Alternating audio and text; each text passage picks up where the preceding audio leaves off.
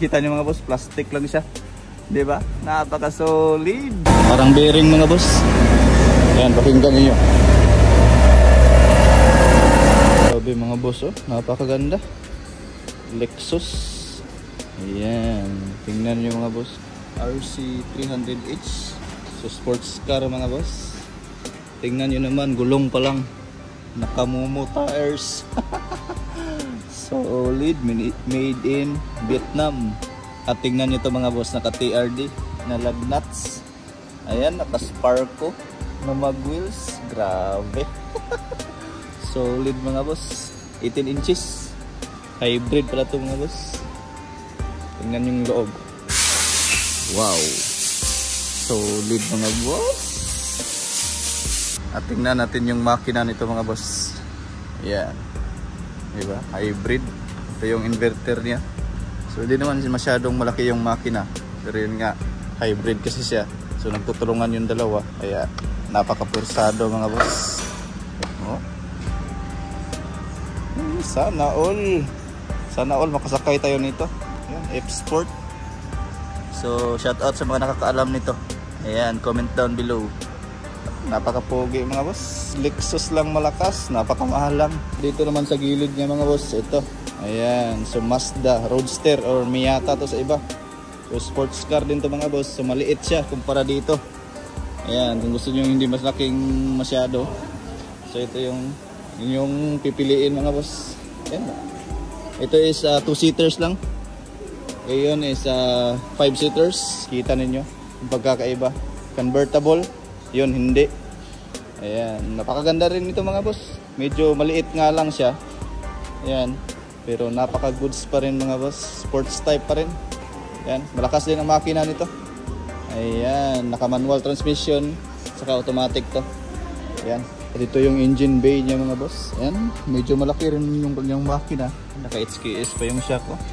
Pero malaki pang space dito. Dito yung airbox. Mazda Miata, Mazda Roadster. Ano masasabi mo boss sa specialized lug nuts? Ito yung mahirap kapag ganito yung mga lug nuts mga boss. Manual talaga yung pagtatanggal. Hindi magamitan ng impact. Yan, tingnan muna natin yung kanyang suspension. Ayan, naka HKS lang mga boss. HKS lang malakas. Hypermax, solid. Ayan, so naka-customize na stabilizer link kasi naka-lowered na siya. Kailangan talaga yan mga boss. So, naka-multi-link siya.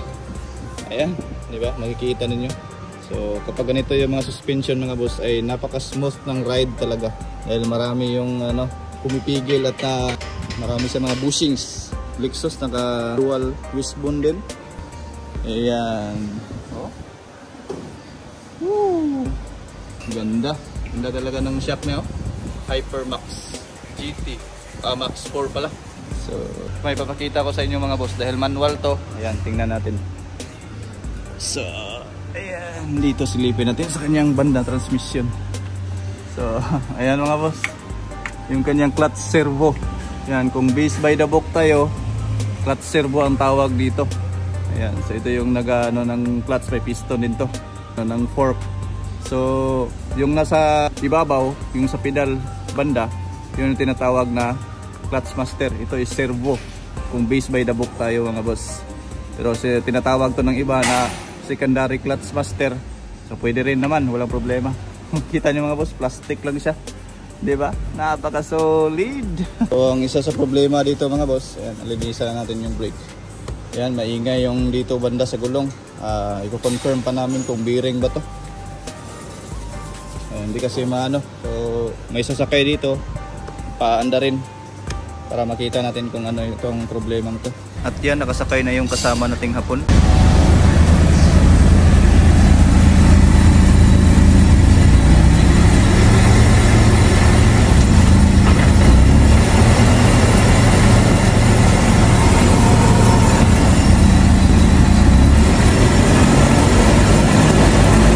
Parang bearing mga boss. Yan, pakinggan niyo.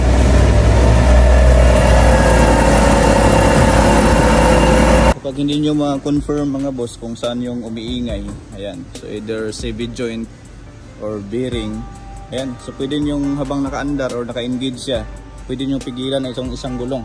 Ayan. Tapos yung isa, iikot naman yan. So mapipigilan nyo naman to. Ayan. So pwede rin kung para safety kayo, maglagay kayo ng ano dito. Tapos ibaba nyo ng konti para yung isa is nakahangir. Ah, may differential naman yan. Hindi naman to iikot ng uh, persahan. So ayan, habang inaano to mga boss, pakinggan nyo yung kabila. Ayan. So salitan, yun na naman yung pigilan niyo tapos ito naman yung paikutin. So ganyan lang pag trouble mga boss para matumpak niyo. Pero since obvious yung uh, tunog dito, so andito yung problema. So hub bearing. Papalitan namin to mga boss. Yan yung mga konting tips natin. At see you sa part 2 mga boss. Para hindi masyado humaba ang ating video. Thanks for watching. God bless lahat. See you at the next video.